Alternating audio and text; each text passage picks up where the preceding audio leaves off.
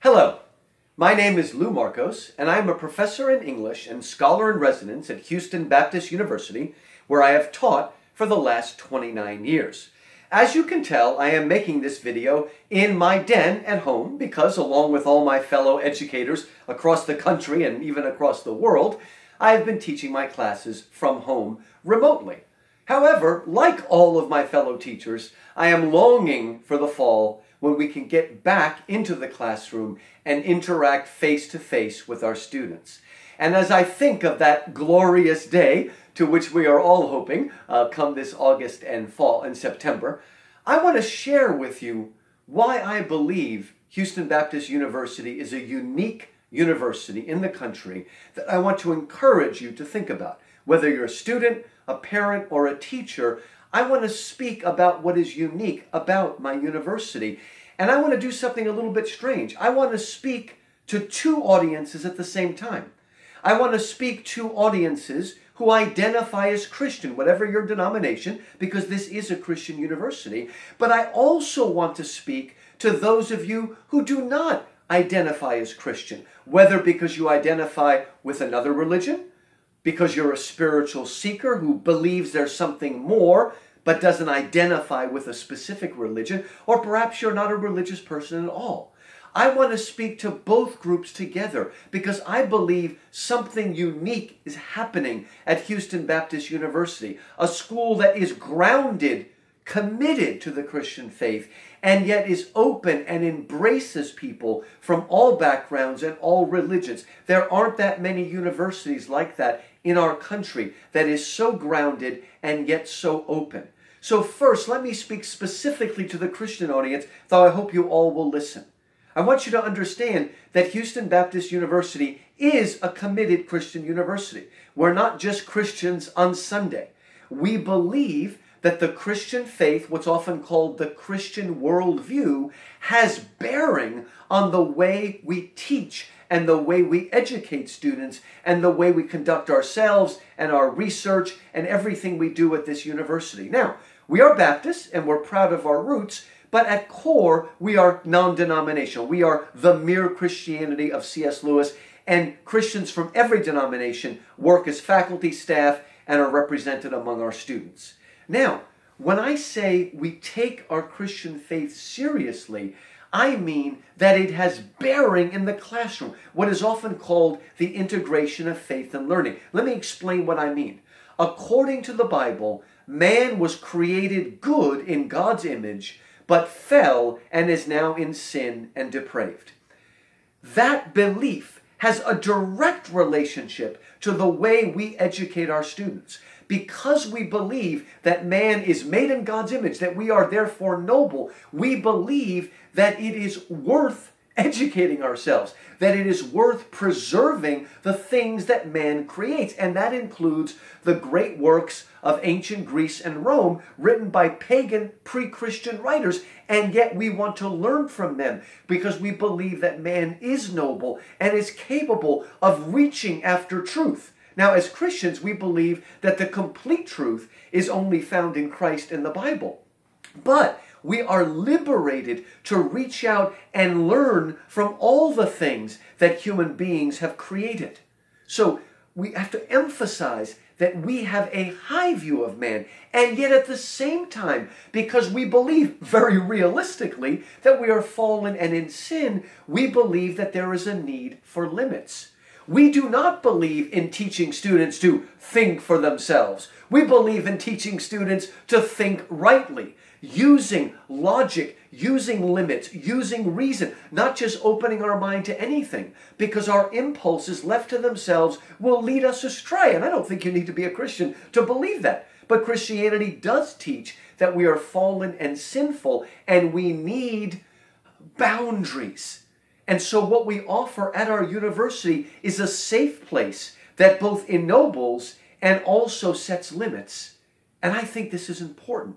Another way in which the Christian faith has direct bearing in the classroom is our belief in what's called the incarnation. The belief that at a moment in history, God became man and entered human history as Christ. Do you know what that means?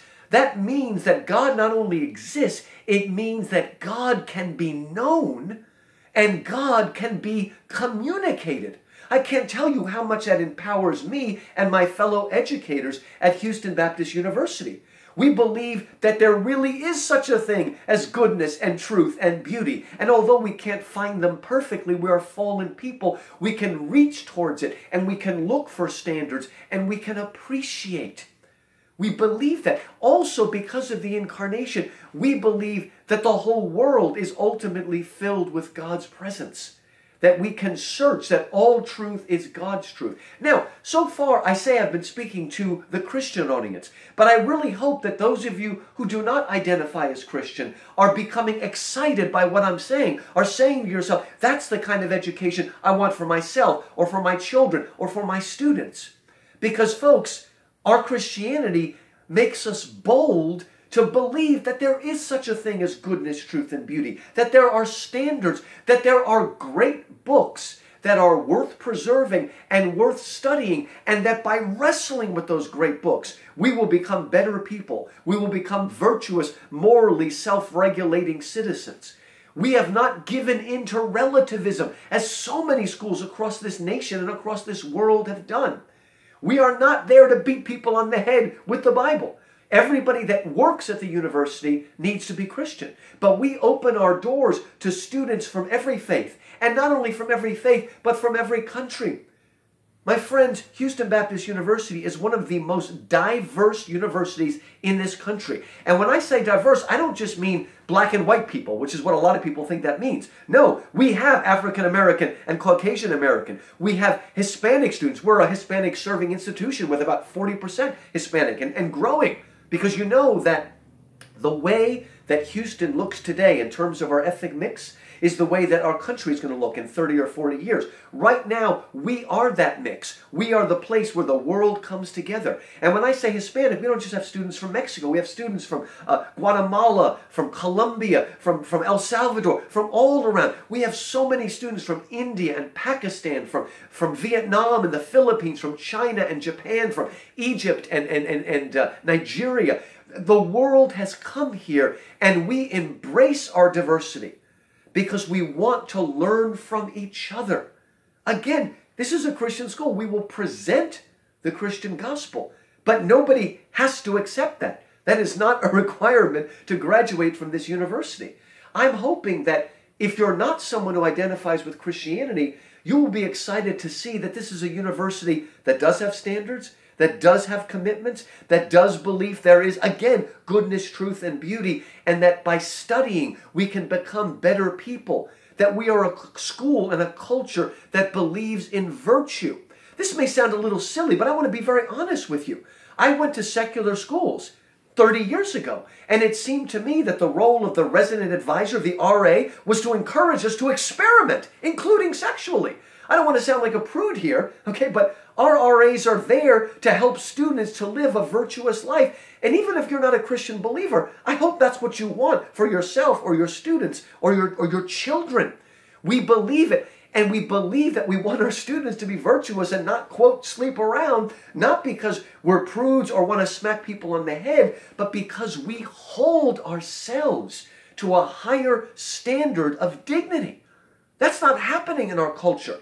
And I don't want to tout our horn too much, but folks, this is a unique thing. We take it seriously, but not in a negative way. Do, don't do this, don't do that. In a positive way. We want you to be better people than you can be. We want you to have a fuller self respect, a self respect for your body, for your sexuality, for your mind, for your emotions. At HBU, we have created a safe place where people from around the world can gather and join in dialogue. We are what America used to be. You see, folks, it is precisely because we are proud of and believe in our Judeo Christian, Greco Roman, Western heritage. It's because of that that we open and embrace other cultures. We are not threatened by other cultures because we know who we are and we want to invite people into that and learn from them as well. My friends, we need more universities like this. But I tell you, this is what you will find at Houston Baptist University. and I invite you to consider it for yourself, your students, and your children. Thank you, and have a blessed day.